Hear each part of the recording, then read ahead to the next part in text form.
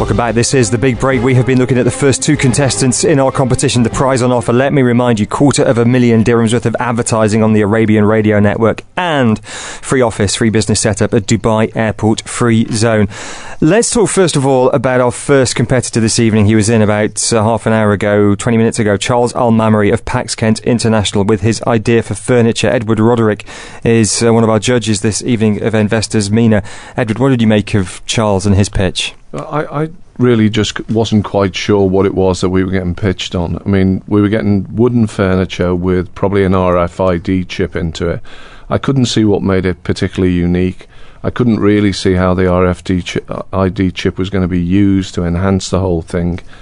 Wasn't clear how the marketing strategy was going to play into it, or for that matter, where the um, where the strategy was to drive it forward, and that wasn't really articulated in terms of you know the markets that were going to be serviced or the geographies that were going to be serviced as well, and uh, the returns. We were told it was an 18% return. I didn't know whether that was uh, rate of sales growth, uh, profit level, or return on invested capital. So just a bit unclear about directionally how it was all going to play out. And compare that with the second company we had, which was She Moves company, Devayani Dayal, the activewear. Well, again, I think you it's a bit uh, apples and pears here. The second company is really brand brand new and therefore has very limited sales, certainly very little revenue and profitability, so that's unclear at this stage. Had to change direction after its very first foray into the marketplace the people seem to me to have competence and capability and a good background in the sector that they're doing. And I thought that there was a, a, a better articulation of the uniqueness of the pro- product. I'm not clear it's as unique as they as Devayani thinks it was, but I think that there was a good articulation of who was going to use the product and why, and how it might be interesting to people in the marketplace. Well, let's have a look at some of the SMSs we've had in. Uh, broadly speaking, I've got to say our listeners seem to prefer She Moves Company to Pax uh, Kent. First of all, some of the um, the, the, comments about uh, about Charles Al pitch for Pax Kent. Um, Ed writes in, awful delivery as wooden as his furniture. Uh, someone else wrote in, um, what a nonsense. Uh, I'm afraid they weren't, they're picking some of the nicer ones, if I'm honest. Um, you know, and yeah, some of those I can't read. Um, uh, Aligi says, worst sales pitch I've ever heard. Um, someone else writes in, this is reflective, I'm afraid. I'm, I'm not picking the, the bad ones here. Um, uh, Ian writes in, sorry guys, I listened to Charles. I have no idea what his furniture or his underwater robot do. Uh, this is not clear uh, at all. So those are some of the comments we had in for uh, Pax Kent International and Charles Al Mamri. For uh, Devayani Dayal at She Moves Company importing active wear, slightly more positive. Uh, someone says Devayani clear in her idea of business and is passionate. Being passionate is the essence of business. Uh, Saji writes in Devayani's business plan is more sensible. Uh, someone else writes in though She Moves is too new, no track record, hazy about her figures, and no unique selling point. Here today, gone tomorrow. Uh, that's from uh, Liz. So mixed reviews for She Moves and Devayani, but pretty much overwhelmingly uh, negative comments for uh, Charles and uh, his, his his furniture at Pax Kent. Edward. Yeah, I think that uh, that's a fair reflection. I think of the of the relative strengths of the two uh, people that were in here. It was reflected in the comments from the audience out there. I think it's difficult to make a judgment on the revenue and profitability of Devayani because really at this stage they don't have any. Um, as I said, change in strategy. People seem competent. And I think uh, the other side of the house, all of those things about sales and marketing and people and the and the business strategy and how it was going to be implemented just didn't really come across strong, strongly enough from Charles to convince us. An interesting comment coming in here about uh, She Moves, and it's something you mentioned. She Moves is a trading business model with very low entry barrier. Um, m- many Me Too competitors will spring up not clear about the competitive advantage. One of my concerns was it's just essentially importing stuff from outside. Now, if Devayani w- was coming up with some unique material that was, I don't know, created for desert conditions and the humidity we have here and was working on, on a fabric that was ideally suited to these conditions, then I think, okay, you've got something truly unique that may work across the Gulf and perhaps in other desert conditions. And you, that would have got excited then. But importing stuff from America, it, it, it's great. I'm not knocking it. it. it's good business. You know, people import, import BMWs and Mercedes and it's still a business.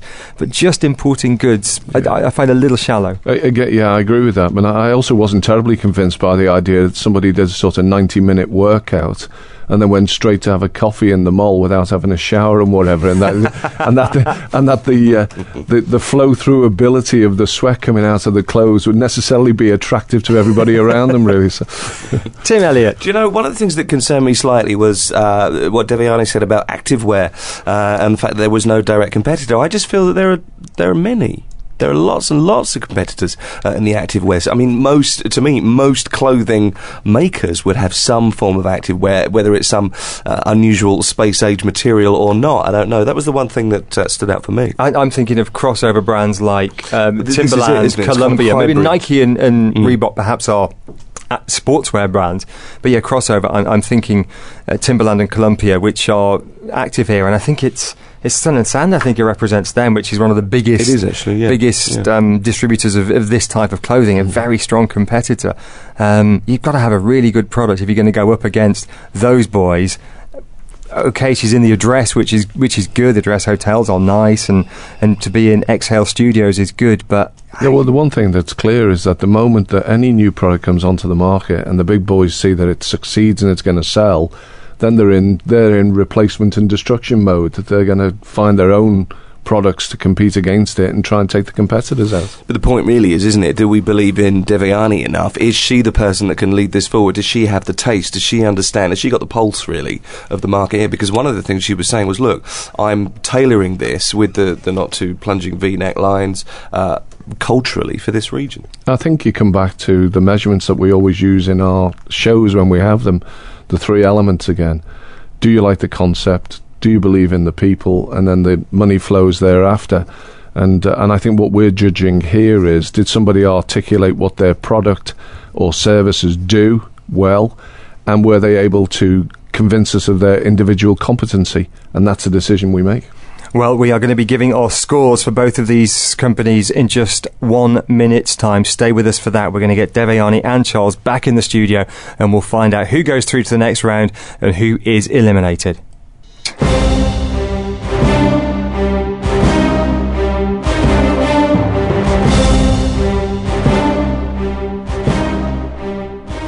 Welcome back. This is the big break. Tonight, one company will go through to the next round and have the opportunity to compete for 250,000 dirhams worth of advertising on Arabian Radio Network and free office and business setup in Dubai Airport Free Zone. One company, though, will be going home empty handed. We'll get the scores in just a couple of moments' time and find out who wins and who goes. First of all, though, both of our contestants, I'm going to ask you, give you 20 seconds to react to some of the comments and criticisms that we heard just now. First of all, Charles Alnamari of Pax Kent International.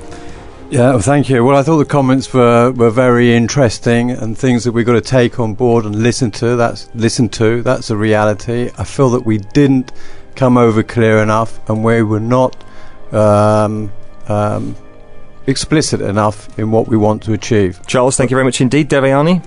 Hey guys, um, the main thing I wanted to tell you about that you mentioned was that our products aren't unique, and maybe I didn't explain it right.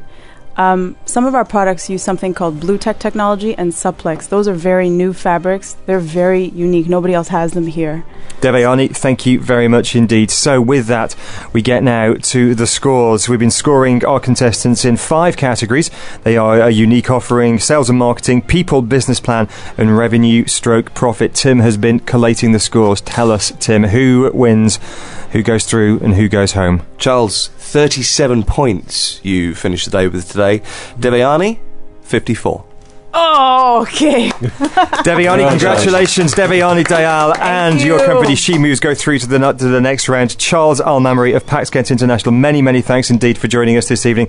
I've got to say, to get this far was quite an achievement. We had lots and lots of applications. Many people didn't even make it this far. So thank you very much indeed, both of you, for your time and for joining us this evening. Thank, thank you. you. Thank, thank you very much.